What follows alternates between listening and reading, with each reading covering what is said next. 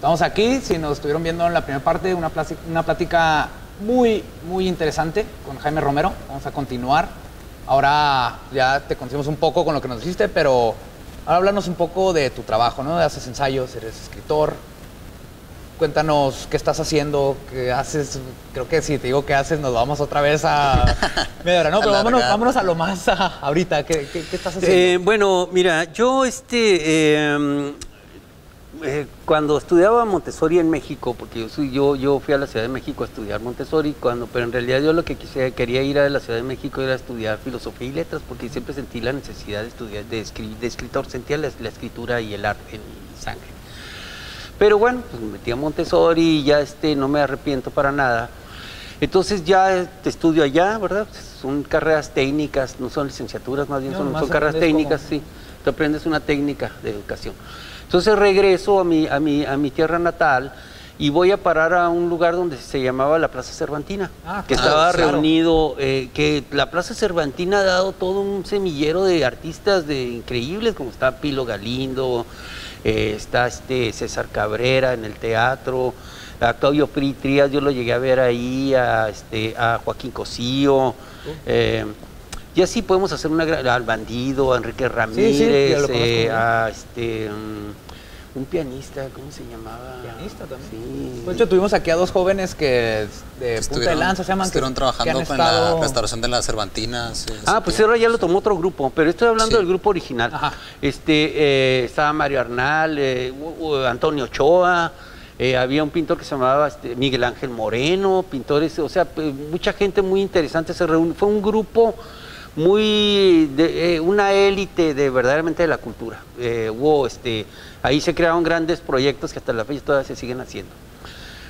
Bueno, pero mi obra, que de alguna manera Ajá. empieza ahí, yo este, pues empiezo yo a, a buscar mi necesidad de expresarme como escritor. Y empiezo a, escribir y empiezo a, este, a sentir, me encuentro con poetas, eh, ya para, en aquel entonces no había verdaderamente escuelas de literatura ni nada, simplemente había talleres, estaba todo estaba- era de arte, Ponte ¿no? a escribir y a ver qué sale, ¿no? Ver Prácticamente. quién- Eh, los poetas, eh, sé que ah, hay una serie de, de las investigaciones que se hacen, estaban los Quevedo y parte de los hermanos de los Escobar y cosas de tipos que escribían Todos ellos. ellos eh, están ahí. No, ellos eran los que hacían poesía Oh, anteriormente.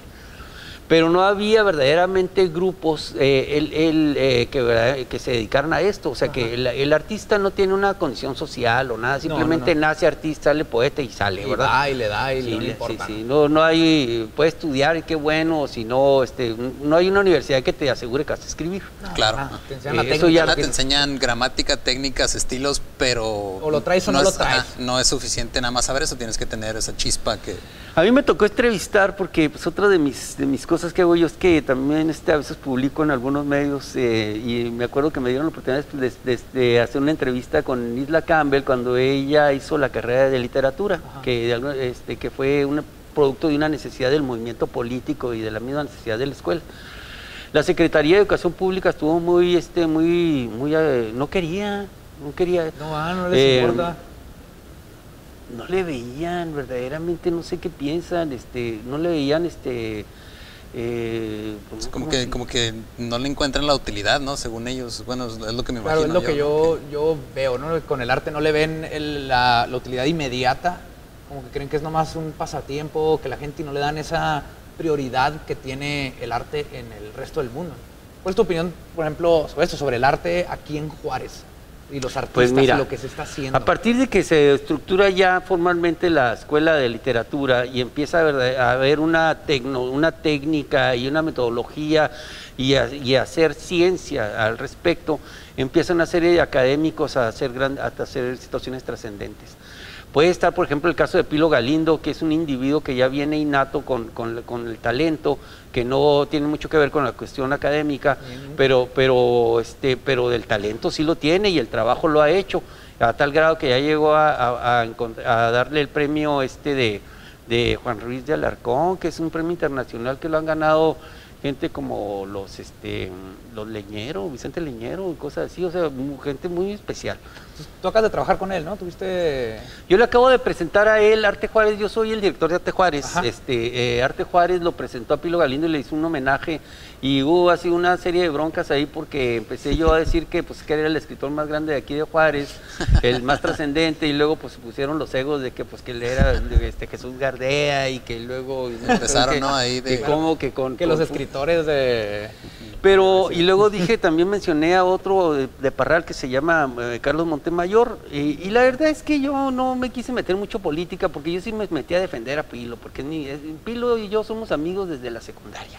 Entonces, Entonces es mi cuate, ¿verdad? Digámoslo sí. así. Yo, yo sí yo, Ah, si yo no defiendes defiendo a Pilo de volar, pues sí, ¿verdad? Exacto. Y la verdad es que si, si vemos a Fuentes Mares, a, a Jesús Gardea y estos cuates, si tú, si tú lo comparas con los grandes escritores como Octavio Paz, este, eh, mm, Carlos Fuentes, eh, Rulfo. Márquez.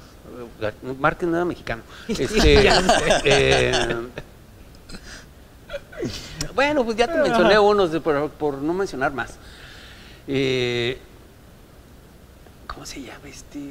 Ay, es que luego mi memoria me falla. Bueno, preocupes. entonces no tienen, no tienen alcance, porque nosotros sí, sí, sí, puede- sí es bueno defender a los escritores de la, de la región, pero ya verlos a niveles ya verdaderamente más sólidos y más grandes, de más alcance, pues vemos que son escritores que sí, han, sí se han trascendido en la literatura mexicana, pero no verdaderamente a grados verdaderamente. Es curioso, ¿no? Yo veo mucho, mucho talento en la ciudad, en, de- en todo lo artístico, en escritura, en pintura, en escultura, en todo, pero nunca punteado fuera. Es raro que hablen del gran escritor juarense, el gran escultor, el gran pintor juarense. ¿Por qué crees que, que suceda eso? Bueno, pero en el caso de la literatura sí, porque Bueno. Pilo Galindo acaba de ganar un premio Claro. internacional que se llama Juan Ruiz de Alarcón, que francamente, como te digo, solamente muy pocos y, y- y grandes Muy pocos y muy buenos, ¿no? Pero ahí Porque tenemos uno, ¿no? Y en las demás Jesús artes, ¿qué Gardea es buen pasa? escritor, no lo vamos a negar, yo lo conocí, digo, a mí me dio clase en la, en la Guacho, yo lo conocí muy directo y sé quién es, este, yo no hago menos su capacidad como escritor, pero bueno, pues, pues, pues él ya hizo su mundo, ahorita yo Pilo Galindo está vivo, tiene mucho tiempo que que más, más eh, vida por delante, y este, yo creo que pues a, los vivos, como dicen, el, vivo al gozo y el muerto al pozo o algo así, ¿no? Eh, y, y dejémonos de regionalismos, hagamos la cuestión de ver las cosas positivas y ver Claro. que, este, que, que, eh, hay impulso. Ah, ya en la Ciudad de México, cada vez que eh, detienen punto su vista en los escritores juarenses, están dando una gran producción de, de temas y, y, este, y hay buenos escritores. Y yo digo que, por una parte, la relación de la Escuela de Literatura, que es una, digamos, es el, el- el- el- el- el El cerebro de esto, ¿no? Sí, el no, epicentro de, la, de la- de la- de la estructura literaria y de todo lo que surge ahí, de toda la situación académica que hay. Sí debe de haber de alguna manera a- alguien que dirija y las personas que están ahí como Agustín, como este Ricardo Vigueras, eh, Ah, Vigueras que está a punto de Isla. Campbell, que, este, que, es una, que es una maestra con mucha este, eh, experiencia en esto, Margarita, historiadores y todo ese tipo de personas, ellos de alguna manera han creado ya una, una este, eh, De hecho, yo herencia, herencia literaria. poco Y por ejemplo, la gente, bueno, la gente que, que está interesada en empezar a inmiscuirse en la literatura de Juárez, dime un libro que les dirías, tienen que agarrar esto y empezar a leer de este autor este libro, de aquí de Juárez. ¿Cuál, cuál recomendarías? Sé que es difícil escoger uno, pero... Bueno, pues obviamente leer la, primero pues hay que leer a los clásicos juarenses, hay que leer primero pues a Fuentes Mares, ¿verdad? Hay que leer a, a Jesús Gardea, leer la obra de, de este escritor chihu- chihu- chihuahuense que acaba de morir, que es Rogelio Treviño, leer las novelas que escribió este Vigueras, que ahorita ya las tienen publicadas, los libros de Agustín, eh, y después al rato los míos también. Sí, Claro, que lo que iba a decir es de Eh, que escuché, no sé si ya se publicó, Vigueras está a punto de publicar otro, ¿no? Que es a vuelta de rueda tras la muerte, me parece. No, ya está publicado, ya, publicado? ya lo, presentamos, Ah, perfecto. Arte Juárez lo acaba de presentar este con su libro este ahora en, en- en marzo me parece. Sí, Ah, ya lo ganó, ganó Bueno. el premio en, en diciembre y lo publicaron en... Y de hecho, pues antes de irnos, Arte Juárez, ¿dónde te contactan? ¿Dónde consiguen tus libros? ¿Cómo pueden saber más de ti, de tu, tus- toda la experiencia? Ah, pues todo ahorita tu- hablamos de eso. Eh, Lo que te busquen en Facebook, hay página de internet. sí, este, hay- hay, em, ¿puedo hablar de, de- De de Facebook y de Eh, bueno, Internet yo sí. eh, ahorita, eh, yo, yo nunca he dejado de escribir. Eh, no sé por qué, yo creo que es algo que a mí me pasó muy personal. Eh, cuando yo estudiaba, por ejemplo, con Ferrogay, algo me dijo algo muy interesante, que por ejemplo, que seguí la- las enseñanzas del poeta Horacio. Entonces el poeta Horacio decía que los poetas y los escritores de alguna manera teníamos que enterrar nuestra obra bajo la tierra, o es decir, guardarla, esconderla, ponerle un tesoro y dejarla ahí por unos 10 años y después sacarla. Y si verdaderamente valía la pena esta obra, de alguna, man- de alguna manera iba a ser trascendente. Iba a resucitar. Sí, eh, no se trata nada más de que, como yo esto, por ejemplo, no quiero decir el nombre de una persona, pero cada rato saca un libro cada seis meses, ¿verdad? Entonces, eh, eh, eso no se trata, no se trata de, digo, yo, yo era de los que me sentaba en la mesa y escribía un poema cada 15 segundos, ¿verdad? Entonces tú, tú ves que cuando estás haciendo eso, lo único que estás haciendo es que estás vaciando tu subconsciente, tus ideas literarias, pero ya verdaderamente cuando empiezas a hacer plástica de la literatura, es cuando ya vas haciendo una depuración. ¿Qué fue lo que me pasó, por ejemplo, con Jesús Gardea? Cuando yo le llevo mi obra y él la ve, el primer consejo que me da me dice, es que a ti te falta economía. Entonces yo como que me choqué, ¿no? Que economía quiere decir que tenía demasiadas palabras, o sea que necesita, necesitaba buscar una estética de mi... de- Buscar cómo tan- decir lo que quiere decir con, sin tanto que nos pasa, ¿no? es que, por ejemplo, algo que decía Jesús Gardea, yo me acuerdo muy bien de él, dice, es que se pueden decir tantas cosas en una hoja. Entonces, quiere, eso es realmente la economía. O sea, eh, buscar las palabras justas. ¿Para qué hablar, como le llaman en, en- en esto de la literatura, tanta paja? Sí. Cuando- y hablando de, de economía, pues nos falta tiempo, yo creo, para llegar al fondo, al medio, yo creo, para empezar apenas a ver el iceberg de todo lo que nos puedes contar. Pero pues tenemos que irnos a un comercial. Jaime, muchas gracias por habernos acompañado.